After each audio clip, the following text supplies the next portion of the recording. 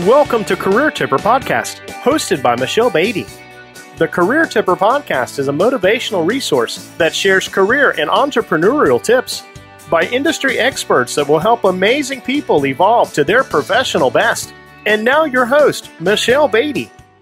Welcome to the Career Tipper Podcast. I'm your host, Michelle Beatty, career confidence coach and author. Episode one of the Career Tipper podcast features speaking coach Jarrod Uddin. Jarrod is the creator of the From Zero to Impact online learning academy and live workshop series that helps people to conquer their number one fear on the planet, public speaking. Affectionately known as the audience energizer, Jarrod has worked as an audience warm up guy for live television shows, international success events, and has traveled throughout the nation's backyard, empowering over 100,000 millennials to answer life's hard questions. Who am I? Where do I belong? And what should I be doing with my life? His book and platform message, Unfollow the Crowd, were both created for that very reason.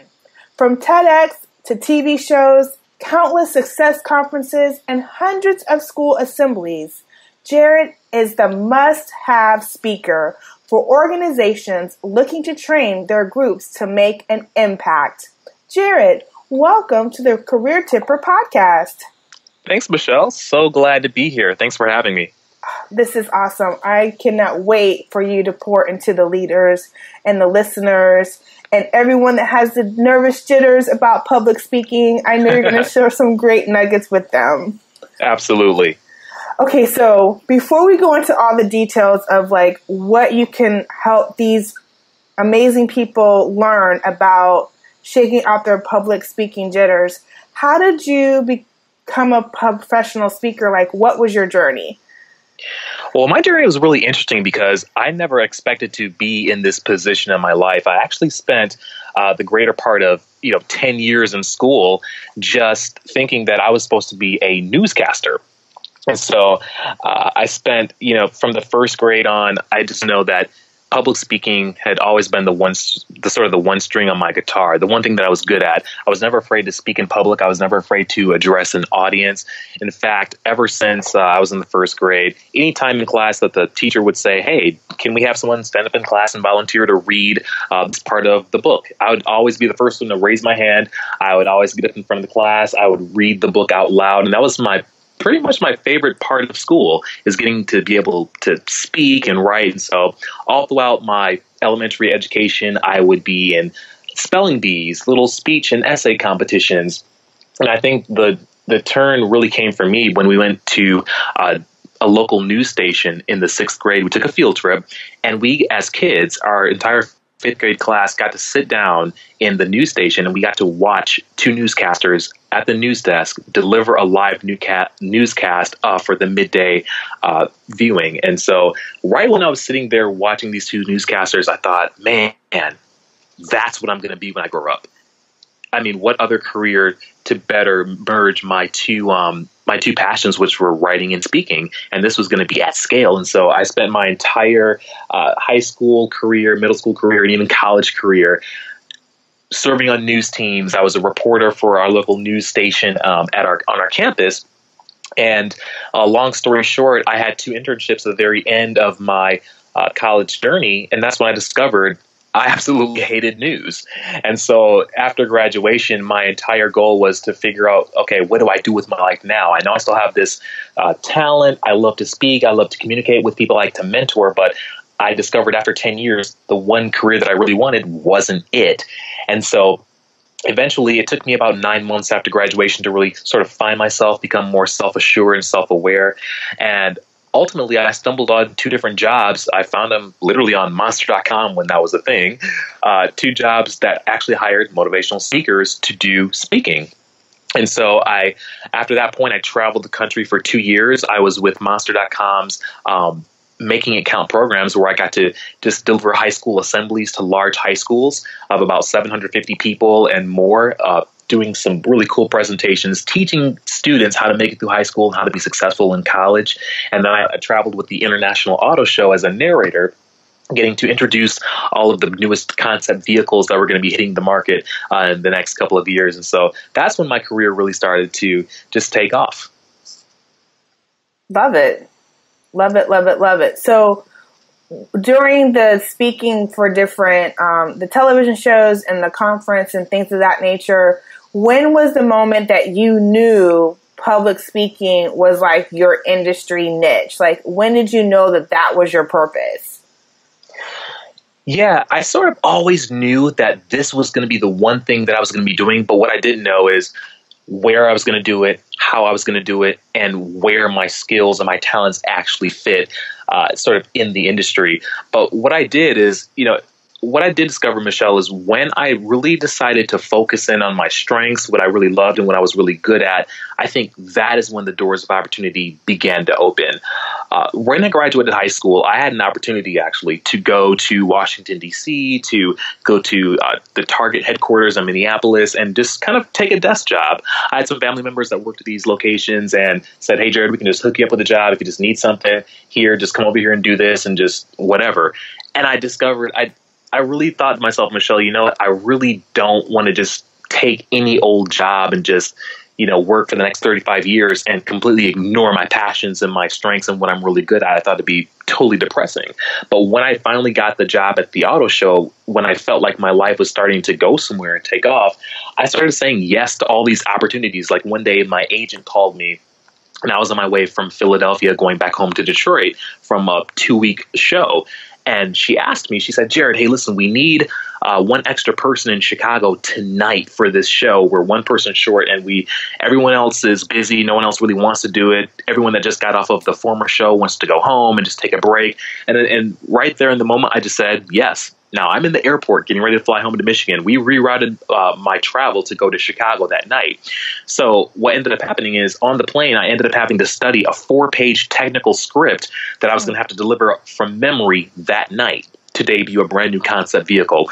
Long story short, when I got there to the convention center, my agent called me back and said, Hey, Jarrod, so listen, I hope you got the script memorized because tonight on your platform, we're going to have the head of General Motors there. We're going to have six different news cameras that are local. They're going to be filming your talk live and in front of like a thousand people or more. Are you ready? And honestly, Michelle, I was not ready, but I got up there. I said I was going to do this anyway. Got up there and I delivered. And that was sort of just a really defining moment for me because right after that, apparently I did well enough where they said, Hey, Jarrod, so listen, tonight we're actually going to um, debut, we're building a stage behind your set where the band U2 is going to be performing. And what we're going to do is we're going to patch that uh, recorded performance live into the Jimmy Kimmel show on ABC tonight. So since you did such a great job with you know hyping up the audience for your particular script, they said, "How would you like to do an warm ups uh, warm ups for the audience tonight and have that patch live into the band, and then you introduce the Jimmy Kimmel show tonight?" And I thought, wow, absolutely, I'll do that. And so, Michelle, what I discovered at that point is just saying yes to certain opportunities, the opportunities that most people shy away from or don't want to do. I think on the other side of that, that's when those sort of miracle or dream moments happen. And so people ask me today, how do you just kind of reverse engineer those successes to happen, those miracle career moments to happen? How do you manufacture that? And I don't know that there's a formula in manufacturing it, but what I can say is when you get really clear and focused on your strengths, what you do best, what you love, and then try and find jobs or opportunities that are emblematic of that, I think what happens is more doors of opportunities open that are custom and tailor fit for your talents and your strengths. And so when I did that, um, I guess that is when my career really started to take off and more offers came in. And then all of a sudden i was doing uh, voiceovers for radio commercials and even tv commercials i was doing. Then i started to get invited to do audience warm-ups for success conferences and live events. Which you're phenomenal at. I've seen you live in person. Like you are truly energizing. you are really energizing. Um, you're very motivational. Like if someone was sleepy or they were fearful, like you definitely have the ability to shake off the all, like I said earlier, like the jitters and get the um, excitement juices pumping and just you know help people to be happy to be in the room like they're grateful for that opportunity um, and you just speak like moments of ahas. I've seen you and it's it, you are you really are energizing. So how did you get to what made you step out and publish the book and now teach want to teach others? Because um, you definitely are inspiring. You definitely this is what you do. This is your profession. Like what made you make an add-on to that for for your professional endeavors? Yeah and i'll be honest with you michelle. I never set out to write a book just about everything that I'm doing today, I never set out to do. It originally was not a goal. And mind you, I thought my job was going to be to be a newscaster for the rest of my life. Then after that, when I got into public speaking, I thought that's all I was going to be doing for the rest of my life. But there came a point in my motivational speaking when I was traveling around speaking in all these cool high schools. I, I felt like I was hitting sort of a cap. Like, um, you know, is this it? Is this all I'm going to be doing the rest of my life? And so I wanted to continue, continue doing it, but I wanted to make more of an impact. And so what I did is I ended up getting a coach a public speaking coach and what he taught me was that you know jarrod if you really want to make an impact with the youth and with the schools then what you need to do is write a book you need to have that. One, uh, you need to have it as a follow up product. But when you're good, people are always going to want to take another step with you after they're done hearing from you. Uh, that can be a blog, it can be a program, it can be a book, whatever it is. They need a second point of contact to continue on with you. Because when I go to a school, if I do a speech, you know, speeches don't necessarily change lives, but mentorship does coaching does. And so that was what my book was for. I needed a way to keep my coaching and my ideas and my voice in the minds of my listeners after I got off the stage. So that's when I started, that's when I wrote the book. And I think it took me further. It took my message further than I could have expected because people order the book offline, they uh, buy it in bulk and give, you know, to their students at school, to people buy it for their kids, for their college students. Uh, and so it, my message does go far. Now, I started something recently where I'm actually training other speakers to be able to make an impact in their own lives. And so, what I've discovered, Michelle, is uh, again, mentorship is what changes lives. That's what actually transforms. And so, what people were coming to me to over the years is, you know, hey, Jarrod, we want to know if there's any kind of way you can teach us to be speakers like you. You know, how can I make an impact? And so what I would do is I would train people here and there every time they would have a media appearance or if they had to do a stage talk or a speech competition, I would coach them through the jitters. I would tell them how to reframe and reshape their story. Even if they were just a salesperson I wanted to have better sales, I would teach them the art of communications and how to fire up the brains of their listeners or their clients to make them kind of come over to your side and agree with your point of view and to love whatever you're selling and to buy whatever you're selling. And it was just now, this past year, where I came uh, into the revelation why don't I just create an entire coaching service around this? Mm-hmm. Since this is what people are telling me that they want, why not? Do this at scale, and so now I have clients that I train one on one every single week to not just be speakers, but to kind of find their their power, to not be afraid of their personal awareness or their core or of who they are. I sort of I, t- I coach them out of the jitters and the anxiety that's associated usually with uh, public speaking, whether it's going to be a one-on-one conversation uh, times 500 on the stage or a conversation with three people in the interview. I teach them how to how to share their story, how to share their experience in a way that's palatable to the listener, and so that they can have more success when it comes to sales, when it comes to getting hired, or just when it comes to just living their um, their best life. But I teach them I teach that to them through the art of public speaking.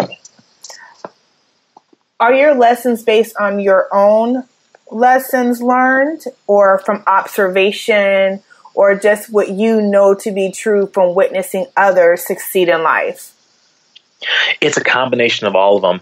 Uh, I can tell you, even though I'm not afraid to speak in front of an audience. There have been times where I've completely just bombed in front of an audience. There have been times where I remember my very first speech, I got in front of a college audience of incoming college freshmen and all of their parents, and there were about 800 people total. I remember I got up on stage and I had memorized my entire presentation, but then by the time I hit the mic and actually got ready to deliver, I completely forgot all of my points and I bombed and I had to like struggle to recover for that enti- for the rest of that entire day. But I teach from that experience.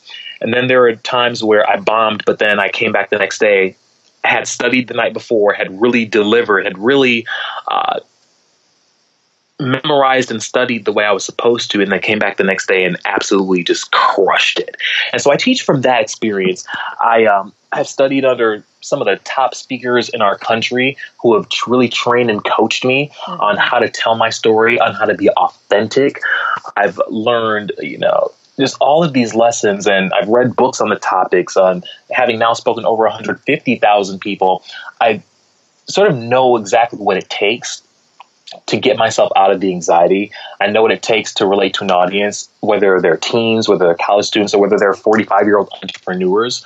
Uh, I know what it takes to relate, and the, the formula is pretty much the same for everyone. And so I teach pretty much from that uh, that roundabout perspective. But then I think honestly, where my true talent is, Michelle, is when I listen to someone's story, when I coach them through a few processes and ask them a few questions. I listen to them, and then I can usually detect what is what are their other roadblocks? What are their other issues? Sort of what's behind the anxiety? And then i kind of custom fit my solution to tailor fit what they're going to need to see do and hear. And when that happens then it's magic. Magic. How what is the magic for you? Like i want to hear because yeah. hear about everyone's seeing you know, different terms including magic and next level and slay. So what what is that? when, when you help them create the magic, what is that next moment that they're preparing for that could be magic, can't be transforming for your for your clients? What does that look like? Yeah, well for me magic is when I see the light bulb come on. When I see someone finally have the aha moment that their story is good enough to tell. Mm that aha moment is when they find out that they are actually good enough to be heard and to be seen on stage. They're good enough to be listened to, where other people should respect uh, their experiences, what they've been through, or their advice. I have several clients right now, and I guarantee you, Michelle, every last one of them, uh, when they first come in contact with me, their number one fear is the anxiety. They feel like they're going to get up on stage and fall apart.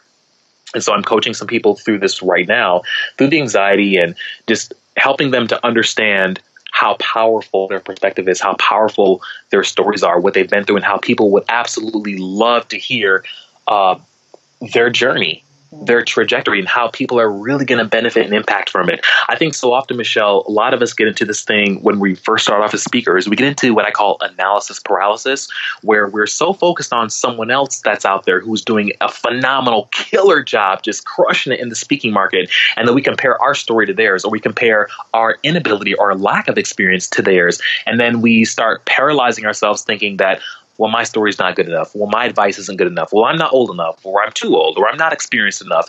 But then when I listen to their stories and then I just kind of play it back for them and I tell them how impactful it is, it's like giving life to someone. And then all of a sudden, the light bulb goes off. And then that little bit of uh, courage comes in and then all of a sudden they come to life and they're not afraid anymore. That's where the magic happens. To me, that's what the light bulb and the magic moment is. No, I totally agree. I know, like, for myself, when I'm coaching clients and just interacting with my peers, like, it's true that, um, when you're seeing someone else, you know, a lot of people I interact with are cheerleaders of each other. So it's not like, oh my goodness, there's no like hate being tossed any kind of way. Right. It's like, you know, like, let's cheer you on. Like, how can I help you? Let's all win. That whole type of thing. But it is true, like, so many times you have to remind people not to compare their chapter five to someone else's chapter like 20. Like there's some absolutely lessons and trials and um, next level and all sorts of stuff that went in between there that they had to figure out that you have to figure out for yourself too. Absolutely. And usually, what we find, Michelle, and I know you know this from being a coach, usually people cannot see the fullness of their own potential. It always takes someone else unlocking it, showing it to them, and then help on to get to their ultimate potential. Yeah, I call it the twinkle in the eye moment where they it's like, what? Like like that, oh, like I got this. Yes, you do have this. You can't, you can do this without a doubt. Absolutely. No. that's so great. So everyone has advice. Like, you know, we're all, people always share advice and with all the different arenas that you've been in, what has which advice have you received personally professionally has really transformed your life for the better? Yeah, so I'd say personally, the advice that I received that's really made an impact for me is this, and this came from one of my personal mentors, and they told me, Jarrod, what people crave is authenticity. They want to know your process. They want to know more about your life. They want to know, uh, you know, where you started and how you got through your challenges in life. Because what I've learned from that is authenticity is what really helps people. I can get up on stage, Michelle, and I can motivate a crowd of people and you know have them cheering and have them feeling excited. But what's really going to impact and change them is when I talk about the time that I was homeless right after a successful high uh, college graduation. When I talk about what it was like to eat off the 89 cents menu at Wendy's and trying to scrape up dimes and pennies just to pay for food every day because I was a broke college graduate that didn't have my life together that's what changes people. That's what causes them to see differently and think differently. And that's what causes connection to happen because we can all identify with a time where we kind of felt lost in life or didn't feel like we had the support in life or when we just didn't know what was going to happen next or when we took a you know a chance or a risk jumped over the cliff and didn't know if the parachute was going to open, but we decided to do it anyway with no clear landing in sight. And so that's one of the biggest things that I've learned personally is uh, people crave authenticity. I think those kinds of stories, when you just share your life, you share what you've been through, you share your embarrassing moments, your pain points, and just what you've been through, I think that helps people. And so, as an entrepreneur, when we share those stories, um, it causes people to really buy into our brand because they know that we're not this you know perfect figurehead who's speaking from the mountaintop and not talking about the journey. I think that sharing that authenticity and talking about the journey is what really helps people to connect with us. So personally, I think that is what's really that's the probably the best advice I've ever received. And the way it's changed me, it's caused me to change the way that I show up online on social media and even for my clients. So I have a blog, I have a website, I have an Instagram that I speak on all the time. And one thing I know is that um, when you're authentic, you're confident. Uh, you, and when you're, but when you're ashamed of your your lack of progress or your age, or if you're just insecure in general, you stop showing up. You know, you stop posting, you stop blogging.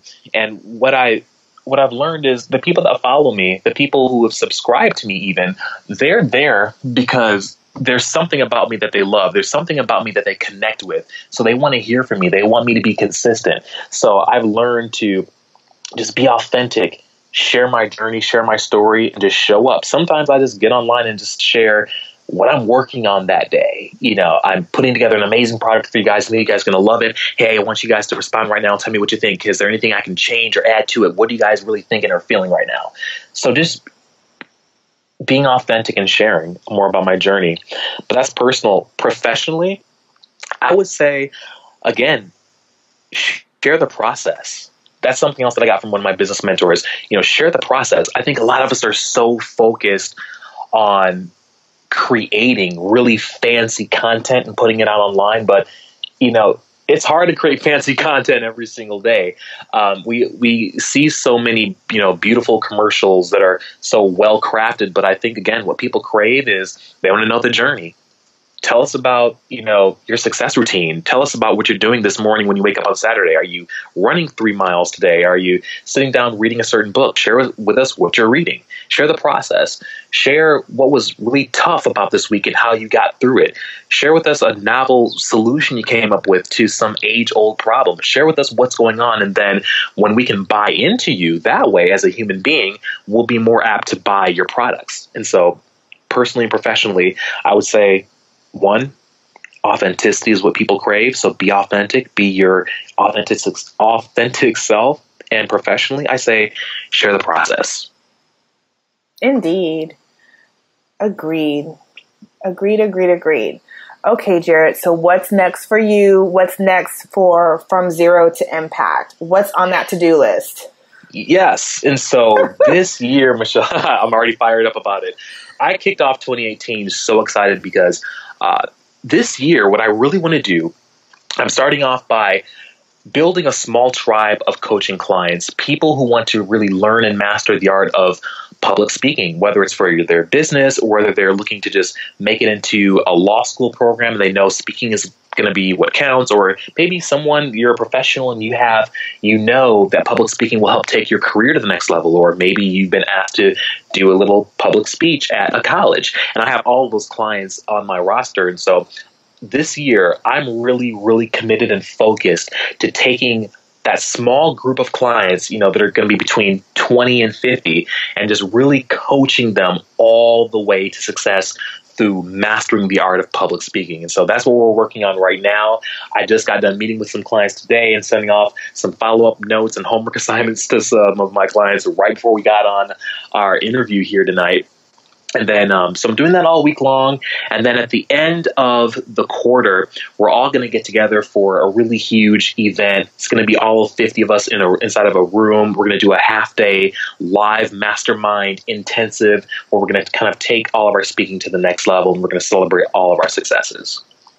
Sensational. Celebrate. It's always the best thing to do to honor growth. Absolutely.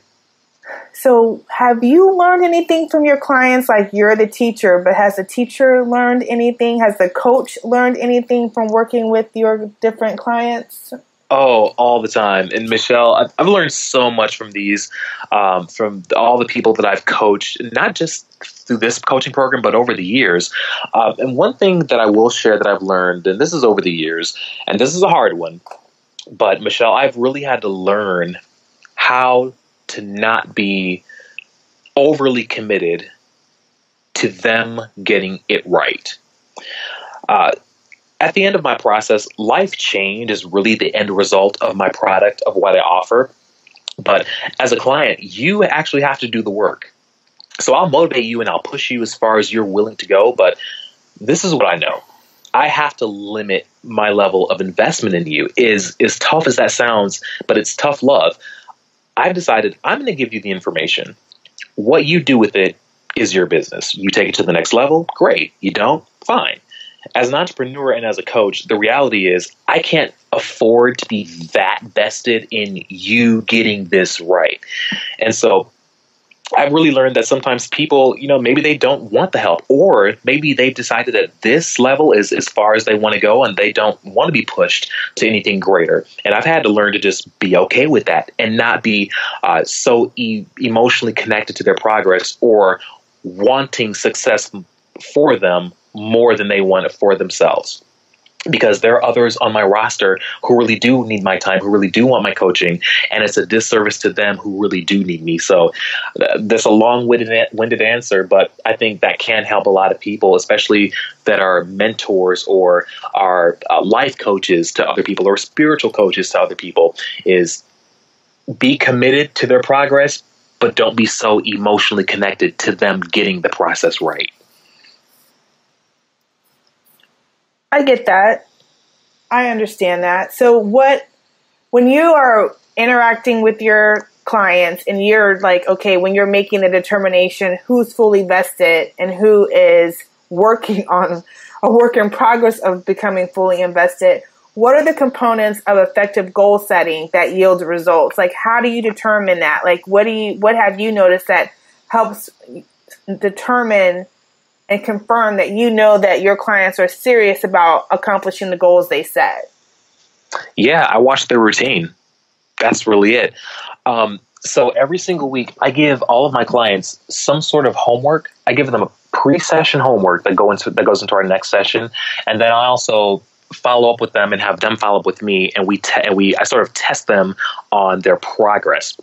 It's, they're really simple assignments, but every single week, my each of my clients they're responsible for engaging me and then following up with their homework. So, for example, uh, some of my professional salespeople who are my clients, what I'll have them do is in one session we might go through how to deliver your 30 second profile or your elevator pitch. We'll work on it. We'll adjust it. We'll tweak it. We'll have you deliver it in different tones, different voices, um, just to really get your your muscles built for delivering that with confidence. And so once we're done doing that in a session, we'll rewrite two different versions of it. And then in the week, within two to three days, you're responsible for calling me, getting me on the phone, and then delivering it to me as if it's your first time delivering it. And so we have a lot of things that we do, a lot of fun activities that sort of get their their their uh, their juices flowing and get them really engaged with the craft.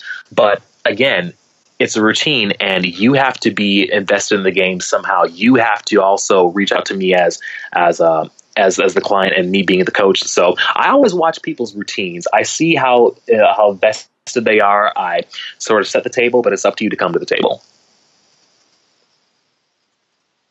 We'll have a seat at the table then. I hear you.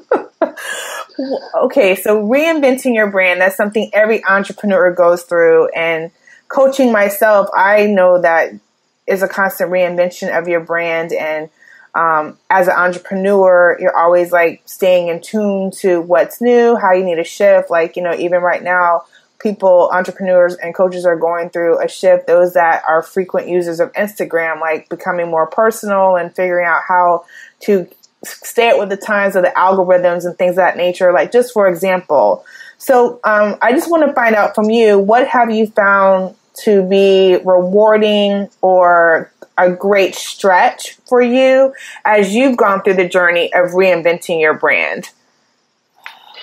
Yeah, so for me, anytime I've reinvented my brand, it's always been outgrowth of me having attained more and more clarity, right? So if you were to watch my platform a year ago, I, I was just releasing my new book, Unfollow the Crowd, and I was really focused on um, high school students and young millennials just making smarter life choices and finding their purpose in life and their passion in life and going after that and motivation for the journey. Now, on the second round of brand reinvention, what I'm really focused on are training people in the art of motivational speaking and how to use that to, to live their best lives. And so, what I found is every time I've reinvented my brand, it's been because of more clarity on my own path, uh, so on what I offer. And when I provide more clarity online, people understand my offering a lot better. And so, from a business standpoint, people are are more able to make a purchase from me. They're, it's easier for them to work with me because they it's more clear on what I offer. And when I'm more clear, they're more clear on what I can do for them and how they benefit. So that is probably the number one benefit of me having reinvented my brand a few times, uh, and my most recent brand reinvention. When it comes to Instagram Live and Facebook Live and all the, you know, the boosting and all the new ways that you can market, I think um, it's been an interesting shift because the pressure there is to share a little bit more of your life. Uh, you know, share a little bit more behind your everyday. And it's because it's so easy to turn on the phone and just go live on video, like, hey guys, here I am in the car, or hey, look, here's my messy kitchen. Uh, of course, we don't want to advertise that, but I think our audiences now, they expect that because they know it's easy to just turn on the camera and show your life. And so it I think I, I've had to go to a new level in just being comfortable and sharing. Hey, here's me sitting down at a table, unedited, unfiltered. This is what I'm working on today, and here's where I'm at. So I think that has caused a major shift for I think everyone in the um, in the business landscape to just share more behind the scenes because yeah. I think that's what's really what people want. They want to know. They want to know how the magic happens. yep, they sure do. They want to know what you're cooking for dinner, what's in the fridge. They want to know what kind of car you're driving, open up the garage. They want to know everything. Work in progress, work in progress. Absolutely. no pressure. None, none at all. so, what does professional development mean to you as a professional coach? So, to me, professional development as a coach, it means not just getting skills. Like, you know, we can all go get a degree, we can all go attend a workshop or purchase an online course or build some skills or get a certification. But to me, professional development means becoming more of yourself and strengthening sort of your internal compass. To me, it means self awareness, becoming more self assured and becoming more confident in your own talents, your own strength, and in your own purpose. To me, that's what uh, professional development means because the stronger you are with your talents, your strengths, what you do best, and who you service best, when you know those answers, when you're really self aware, it's a lot easier for you to provide services and benefits to the world, to other people, and through a company if you have a job. So for me, that's what professional development is. Uh, it's knowing what you do best. It's knowing what your personal hottest offering is. It's knowing what people really want from you, and then investing and going all in on mastering uh, whatever that is. You have to take time to master. I agree with that. It's a lifelong thing. Oh my goodness. Yes, it is. High five from Miami. Absolutely. But you know, Michelle, one thing I do want to share is, you know, a lot of my clients, I don't care if they're 50 years old, 30 years old, or 16 years old, a lot of them kind of come to these roadblocks in life or these early quarter life crises where they just they feel like they don't know what they should be doing with their life. Uh, here's what I want to offer. If that's you and if you're in that position, the answers really are inside of you. I think sometimes we just come across so many failures or experiences, or we try something and it doesn't work, and we just kind of get confused about our path. One of the things I share with all my students is this. First, in order to figure out what you do want to do, what you should be focusing on, you have to first figure out what you don't want to do. So, if you've ever had a job that you've just hated, that absolutely sucked, write it down. At least you know there's nothing to that. You should not be going back to that again. Then I want you to think about the passions that you have. Think about the things that people come to you to all the time to problem solve against. What kind of things do people come to you with advice about? What kind of things do people always come to you uh, for help about? Write those things down because I'm sure there's there's a common thread there. There's there's some clues there. Then the last thing I always share with people every time you find yourself going throughout your day getting excited about something or looking forward to something, uh, write it down. Every time you find yourself caught up in an activity that you love doing and that you just can spend hours passing the time by doing, whatever it is, I don't care if it's reading, if it's writing, if it's quilting, or if it's uh, creating videos or funny memes on, on Instagram, whatever it is, write it down because I guarantee you there's something to that. And then the last thing, Michelle, I always tell people think of the five closest people in your life. Now, the caveat here is they need to be people that love you, like a really close friend or a pastor, a mentor, or a parent, someone that you absolutely trust. Five people. And what I want you to do is I want you to prepare them for a conversation. What I want you to do is ask them, and they don't have to answer right away. They can respond to you over email or text or take a week if they need to think about it. But ask these people that are closest to you that you trust, what is it that you think I am honestly and legitimately good at. And then after that, also ask them to answer now, what are the things that you think I absolutely suck at, that I'm no good at? And let them know that you're not going to be offended at whatever they say. You're not going to be offended at their answer. You're not going to get mad at them and not talk to them for a year. But whatever they say, be as honest as they can and just respond to you, and you'll it'll mean the world to you. I guarantee you, Michelle, that when I ask people this question and let them respond to me anonymously or later on in the future, I got some answers that literally blew my mind. First of all, most of them said sort of sort of told the same story about me, and there was a common thread there. They actually confirmed some things that I already knew about myself that I just really didn't hadn't been paying attention to, and that sort of gave me so much clarity and direction in my life. Um, and that's when I started doing voiceovers for commercials and uh, voiceovers for audiobooks and just different things that I could do with my talent that I had no idea even existed. And all of those things opened up doors of opportunity for me. And now my path is clear and it makes sense. It's, it's difficult. I'm constantly learning, but it's clear and it makes sense. And I think that's what so many of us are searching for right now in our lives, no matter who you are, what age you are. We're searching for clarity, we're searching for purpose, and we're searching for the place that we can go where we can have the most meaning and impact. But that's a way to do it. Clarity is a gift. Yes, it is. It is. it's a gift you can give yourself, though, just by putting in the work, just by committing committing to something, uh, by committing to not quitting. You'd be Michelle. You're you'd be surprised at how many, especially uh, my younger millennial clients, who sometimes they want to start a business or they have this awesome idea and they put money into it, they develop it, and then in two weeks, when they're no longer excited, excited about it, or when the shininess or the newness of it just wears off, they just drop it and they quit. And I say, hey, what happened to this awesome idea you had? They're like, ah, I tried it, it didn't work. I'm like, but dude, you only gave it like two weeks. you know, yeah. we have to be committed to finishing something.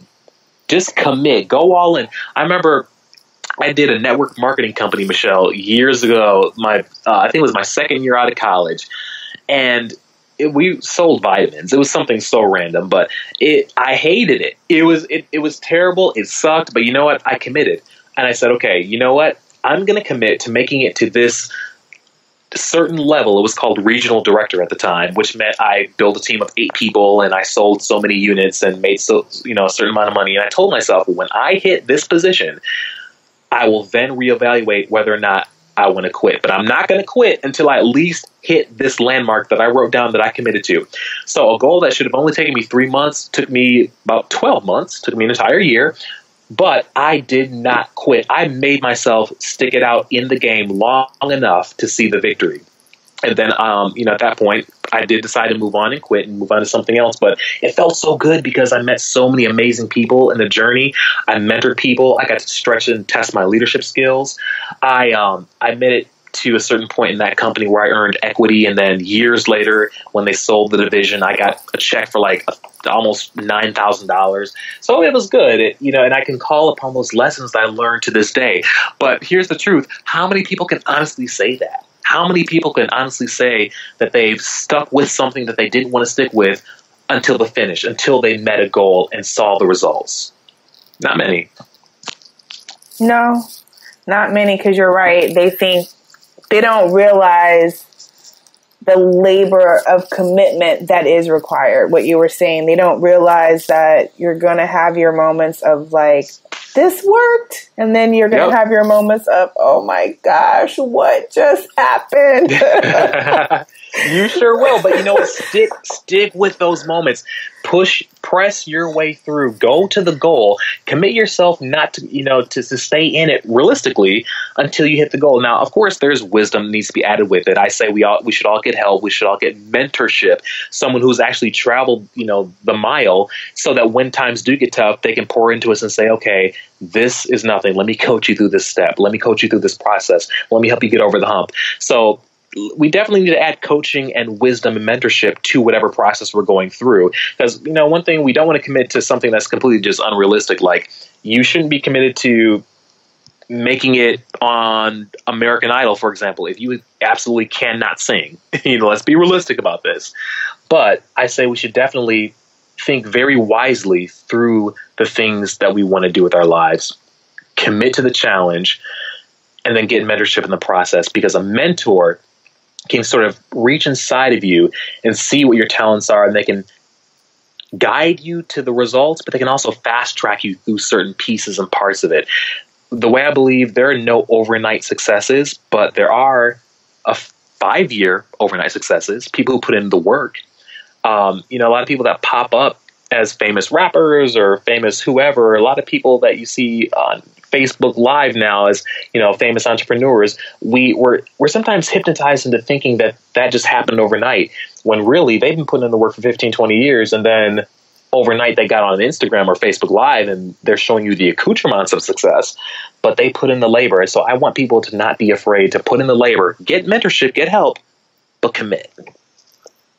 I I I totally agree, and I myself personally have t- definitely been um, impacted in the most amazing positive way of mentorship and coaching, um, helping me find clarity, helping me connect to my purpose and try something new. So.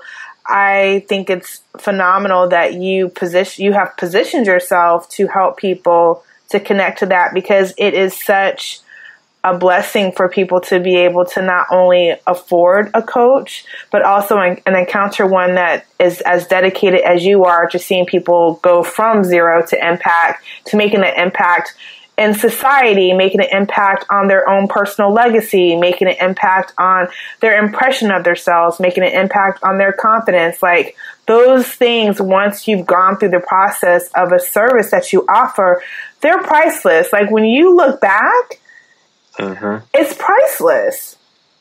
You're investing in your own growth. What I believe is that when people are really ready to fast track their success, they'll make the investment in themselves. And Michelle, just kind of backpedaling here, this is why I require all of my clients to pay a top dollar to coach with me because what that shows me is when you're willing to invest in yourself and in your growth and your potential, that tells me that you're serious. That tells me that you have skin in the game. And that's just another lesson that I've learned from one of my mentors because I've always been a bleeding heart. I've always wanted to go to schools and go to colleges and just just you know just do it for free. Mentor for free because I wanted everyone to be able to have access. But what I've had to learn, Michelle, the hard way is when people are not made to make some sort of investment in their own growth, they won't take it seriously. I think about you know a lot of the things that I've gotten for free. Like when I get a free book, it's like okay, toss it in the back seat, and I never really pick it up. But when I'm made to pay for that book or pay for that coaching system or that series of books, I have to pay hundred dollars or thousand dollars. I take it seriously and I make sure I press in and get everything out of that investment. And usually it's because I made the investment. So I anytime someone offers me something at a discount, sometimes I just say, you know what, no, thank you, but I'm going to pay full price for this because I know what this means for me. And so you're it's so true. You ha- and you have to make that investment. So true. So true. Okay, Jarrod, how do you dream bigger? Like from coaching everyone who you interact with and you know on social media and your clients and your from zero to impact program you're teaching people how to dream bigger, but how do you position yourself to dream bigger?